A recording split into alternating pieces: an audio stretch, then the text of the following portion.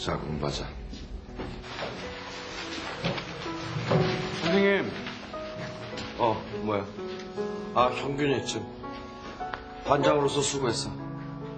전 선생님과 친구들한테 드릴 말씀이 있습니다.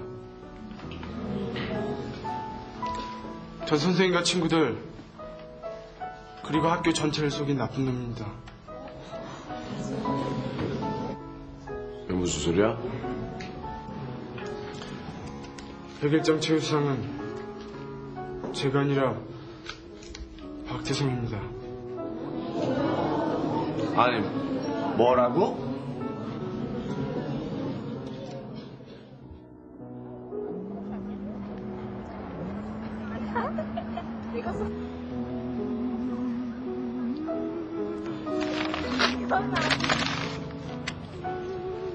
왜 안 써? 귀찮아. 하기 싫어졌어. 마, 그래도 내긴 내야지. 싫어. 안 할래.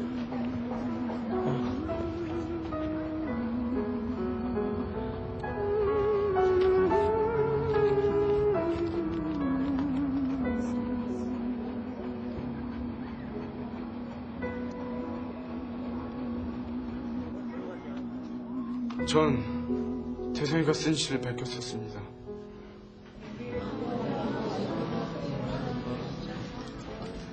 수상이 결정됐을 때 태성이는 거기에 대해 한마디도 하지 않았습니다. 그리고 절 묘하지도 않았습니다. 그리고 전 얄팍한 생각 이 상을 받았습니다. 그런데 전 이번 일을 보면서 한 가지 깨달은 게 있습니다. 진실이란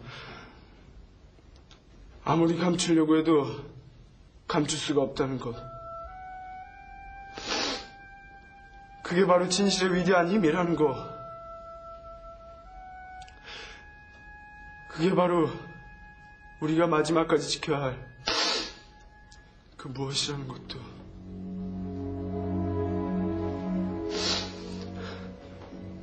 선생님,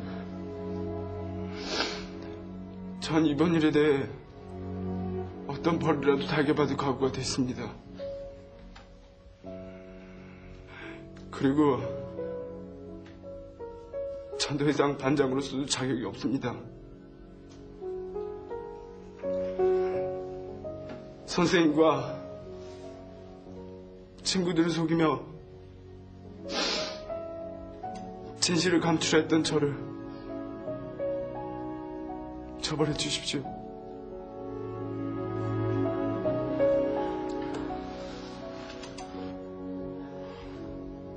그, 이, 이 일을 어떻게 처리할 것인지 생각을 좀 해보자. 그리고 반장 퇴임 문제는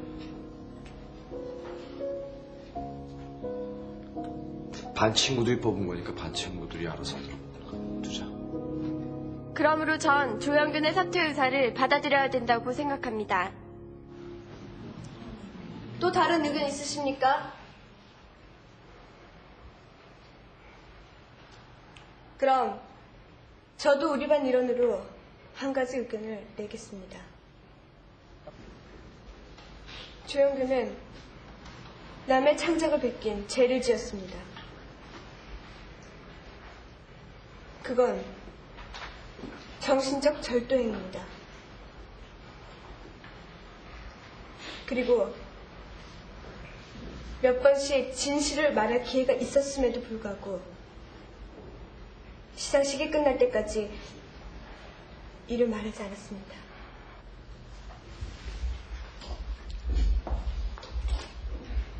그건 처음의 절도행위보다 더 무거워진 죄. 바로 진실의 은폐입니다. 여기에 우리가 조영균을 용서하지 못할 한 가지 이유가 있습니다. 하지만 여러분,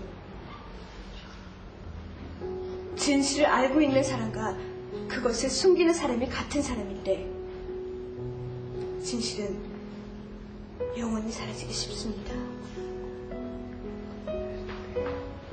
실종되는 거죠. 진실을 밝히려면 그 사람은 모든 것을 버려야 하기 때문입니다. 여기에 우리가 조영균을 용서해야 할 커다란 이유가 있습니다. 그동안 자기가 쌓은 모든 것들을 버려서 진실을 밝히고자 한 조영균을 저 박노시아는 당당히 우리 반 반장으로 재추천합니다. 그것은 깊이 반성하는 사람에게 용서가 있다는 또 하나의 진실을 지키기 위해서입니다.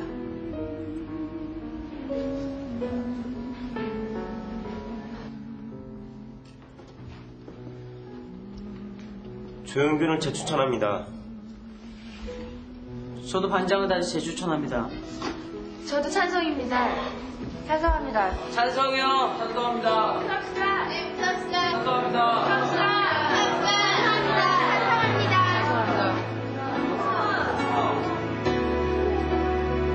저도 조영균을 재추천합니다. 그럼 저는 찬성으로 조영균을 반장으로 재추천합니다.